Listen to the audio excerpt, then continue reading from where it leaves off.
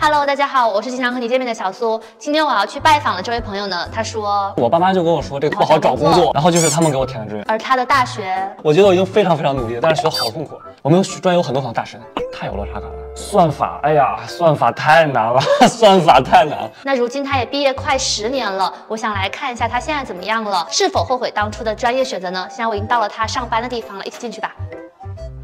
李大锤同学曾因为选错了专业，有过很长时间的困顿和迷茫。他用十年的时间，从软件工程专业的学生变为如今的自媒体博主，好像走上了一条和所学专业不那么相关的路。哎，所以大锤，为什么你当时的专业是你爸妈选的？你没有考虑自己为自己考虑过一下吗？我上高中的时候，我化学跟生物都学得特别好，我就想学化学生物，但是我爸妈就跟我说这个东西不好找工作。对，然后就是他们给我填的志愿，我第一个志愿也不是这个，第一个志愿是。电气工程自动化，哎，这是我当时的那个我爸妈给我选的专业，就是自动化，但是我反抗了他们的意愿，他们说这个理工科好找工作。对对对，我说我对这个一点都不感兴趣，我去看了那个书，我觉得哇，我不想以后大学四年看书了，我特地找了那个大学的书看，我说我大学四年不能在这样的生活中度过，我就选了新闻，跨转到文科了。哎，你这个这个很好，我觉得这个这个方式特别好。哎，我要听看书。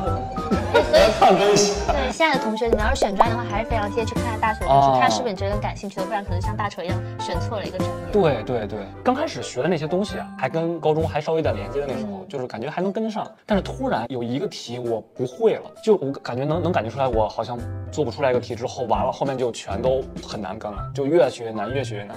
然后发现好像不太适合。那你有为之就是想要努力攻克过吗？还是真的努力也没有用？真的很努力啊！我觉得我，我觉得我已经非常非常努力了，但是学的好痛苦。我们有专业有很多很多大神，他们属于那种平时也跟你一起打游戏，然后有时候也不上课跟你一起玩，考试之前突击一下，人家就能考一百，太有落差感了。因为高中的时候还在学校里面还算比较就拔尖嘛，前三名这种，我总觉得就是这有什么难的，我能学得会。但上大学以后不是这种感觉了。能不能回忆一下，就是你学的最痛苦的时刻是怎么样的？算法，哎呀，算法太难了，算法太难了。我们当时教我们算法的那个老师，他。有一点点带口音，刚开始还跟得上，后来第一是他说的话有时候听不懂，再一个是那算法又很难叠在一起，我上课的时候就一直在走神，哇，这是什么意思？然后又又又又不明白，然后算法真的学的特别痛苦。那你当时没有想过就是转专业吗？转一个适合自己喜欢的？那个时候我都不知道转去哪，从从大一开始吧到大三我都非常迷茫，不知道自己要干什么，我也不知道自己喜欢什么。哎，怎么好多人选专业都是这样？就是可能父母安排的，或者哎觉得这个专业是个热门专业就去了。对。但其实自己真正喜欢什么并不知道。我想问一下，现在这个上大学的朋友们，你们是不是也会有这样状态？就是根本不知道自己喜欢什么，很迷茫。可能很多时候学校这种教育可能是缺失的，并没有让你很好的可以去发挥你的特长，而是就是把你限定在了一些所谓的啊赚得多的专业，能找到好工作的专业、热门的专业里面去。是是。那你是你刚刚说，直到大三之前你都不知道自己喜欢什么？那你大三是怎么突然知道自己喜欢什么？二零一一年的时候买了人生第一台智能手机。我就觉得这东西太神奇了，就是为什么这么小的一个东西里面好像无限的可能，就是你可以装任意一个 app，实现任意一个功能。然后那个时候就一直在下好多好多应用，嗯，在试用这些应用。然后后来我发现，因为很多应用是付费的嘛，然后我就只能下试用版，试用版又不完整。后来我朋友跟我说，说你可以有限免的时候这些软件，然后我就在限免的时候下了一个软件，然后在微博上推荐了一个软件。然后就有同学说，下次再有这种软件，你还告诉我。然后就开始发微博，发微博，发微博。然后把这个微博做起来了。所以你毕业的时候还有找过工作吗？你父母就同意你直接就开始做自媒体博主吗？因为在当年二零一四年那会儿，我觉得这并不算是一个很正经的职业啊。炒了很长时间，一直在吵，从大三开始吧。我印印象特别深刻，就有一年春节，我那年春节在做一个春节档的一个抽奖，是个大活动，有收集很多很多奖品，然后就一直在自己在做这件事情。然后一个春节我都猫在自己的屋里面在搞。我妈就突然有一天说：“你每天在干什么？”然后你春节也不跟我说话，你做这些事情没有任何意义。毕了业你也不能靠这个靠这个生活，你要去找一份工作，然后就吵了。过大过年的就吵得不可开交。然后从那以后就关系持续恶化，一直到有一次我三个多月吧没回家也没联系他，很严重了已经，非常非常严重。就因为要做自媒体这个事儿搞得这样。实我比较理解，就上一辈的父母，可能他们就是想要，他也不是说不让你想让你不好，他其实是想让你好，但是他不知道他所理解的好，并不是你想要的好。对，其实我现在很理解他们了，就是后来再聊，其实很理解他们当时那个想法。他们就我一个儿子，他们当然希望我能过到一个好的生活，而不是说下半辈子还要一直为我担忧啊什么的。哎，那你相当于你是从二零一三年开始做自媒体吗？你做了多久才开始有第一份收入啊？我的天哪！我想想啊，一六一五年，一六年吧。哎，那你也算是用爱发电了整整差不多有三年的时间。对，而且我之前看了一个工作室的 tour，其实你开始的工作室特别小，然后最后才搬到这个就比较大的在郊区的这个地方。对对对对，最开始是个四十平的一个小屋，租了一个商务屋的一个小屋。哎，那要不带我参观一下吧？我感觉很好奇，这个数码博主的工作室都是怎样的。OK，好，我们去。三百多吧，三百五哦。对，就是但是不是很贵，因为在很远嘛，我们在南六环，就是北京一个很偏的一个地方。所以你是为了就降低成本，所以才对对对对，但是如果这个房子再再往里面靠一点，我们就承受不了了，就就哦找了一个很远的一个地方。哇塞，你这里好大，有好多数码产品啊。对对，这是我们仓库，这是一个开放哦式的一个仓库，然后这边有我们的拍摄的产品，还有我们相机啊，什么稳定器啊，就是拍摄道具的。你大学刚开始做自媒体的时候，会想到自己有一天会收到这么多厂商的产品吗？嗯，不敢想。你们这儿有好多个拍摄的场景啊。对，我们有三个固定的景，这是一个家居景，哦就有时候拍什么电视、空气净化器什么的会在这儿拍。然后这个好科技这是个拍产品的景，哦。就是因为这个是个升降桌嘛，就很方便升高度。然后比如说把手机摆在这儿，然后后面就虚掉了，就很漂亮。哦这个灯真的很漂亮。这灯可以变色儿。啊，对对对对对对哦对对，哇，还可以。这样对对，它子。可以变色的。这个是什么？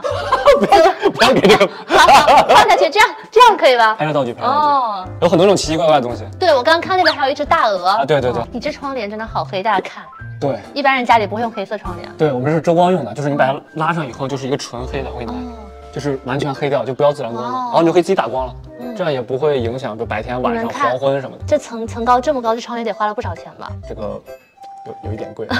我们有两个组在这里面，哎，拍摄剪辑，这个是谁的？我也不知道是谁的。这个傻子不会指的是？啊 不是你弄的是吧？这是我工位，我我占了两个人的地方，还 挺整齐占地比较大的。。所以你都是跟你的那个员工们直接坐一起吗？对对，这不交流方便吗？扭头就可以说你这不行改。这是你的糖是吧？这个是，哎呀，这个是这样扭头跟他们说不行，改给你个糖改，嗯，是这样子。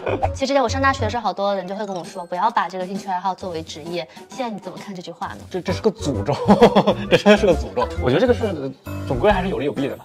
就是你把兴趣当成一个职业之后，你一定会比别人会走的会更远一点。我自己觉得，因为你的动力会更强一些嘛，因为这是你的兴趣。但是问题就在于，我只有这一个兴趣爱好，讲道理，再有可能就是看电影了，就没有其没有其他的兴趣爱好。然后你忙的没时间看电影，是不是？对，然后会会感觉没处可躲的那种感觉。对你从早上开始就做一件做一件事情，然后做到晚上，下了班儿干什么呢？就会有这种感觉。就我我经常会有那种突然有半天闲下来了，哦，然后这半天不知道干什么的这种这种时候。我是这么想的，如果你只有一个兴趣爱好。哇，那你的人生说明你对这件事情真的很热爱，你必须得做它。你不做它，你还能做什么呢？如果你有很多个兴趣爱好，哎，那更好了。你做它，你还可以通过其他兴趣爱好来释放你自己。哎，那你其实学软件的，我觉得也不算完全选错吧。当时的专业知识会不会还有一些帮助？对对对，放到现在我再去理解一些，比如厂商的它的产品，它这个功能到底是怎么做的，嗯怎么实现的。我在试这个功能的时候，会更会更快速的理解它们的原理，所以在给大家讲的时候，可能会怎么说呢？一个学得更快，再一个可能讲得更清楚一点。我自己老觉得我在做一个翻译的工作，啊，就是这个名词是什么意思，这个功能是什么东西，我把它翻译成一个大家听得懂的语言，来告诉大家。学软件工程这个事情，帮助我理解这个事情，对，所以所以也算是没白学吧，算是没白学。我一直觉得就是没有白走的路嘛，就是你做这件事情，这些经历一定会在后面对你会有所帮助的。我就感觉其实每一段经历可能都有它的意义，就可能你身处其中的时候，你觉得你真的好痛苦，我也有很痛苦的时候，因为我们以前学新闻不光是走实操这一块，我们还有很多理论的课程。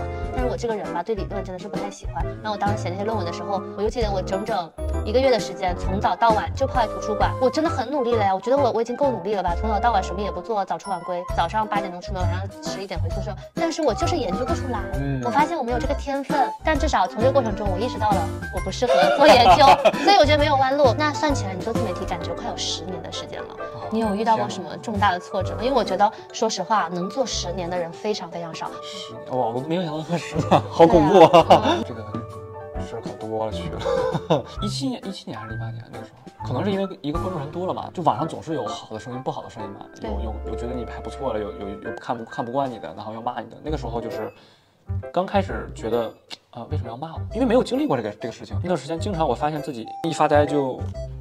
不是十分钟、二十分钟过去了，然后我不知道这段时间我干了什么，嗯，就是你已经精神有点恍惚了。对，就好像是这时间就唰就过去了，真的很难受，确实很难受。你每一个人，你在网上，只要你分享了自己的观点，分享了自己的生活，就一定会有不同的声音。就是只要做好这个心理准备就好了。他们也不能说都是说是坏人，只是说他们跟你是意见相反的人，你要允许别人有表达的权利。但是可能他的言语会冒犯到你，那如果是真诚的，我们可以理性讨论；如果是那种恶意的，你就忽略就好了。毕竟你不在意，他就伤害不到你。这是我自己的想法。是是是，其实我有观察到你做的平台特别多，但好像就每个平台都是不是说特别头部啊，都是属于泛泛的这种。对对，腰部、脚部，就 是因为你也做了很多年了，对你对自己现在就是满意吗？你有什么样的目标呢？我我我之前一直想做最好的，后来我发现厉害的人太多了，每好像每个行业都是头部都是少数，能做顶尖的人都是不只是努力能达到。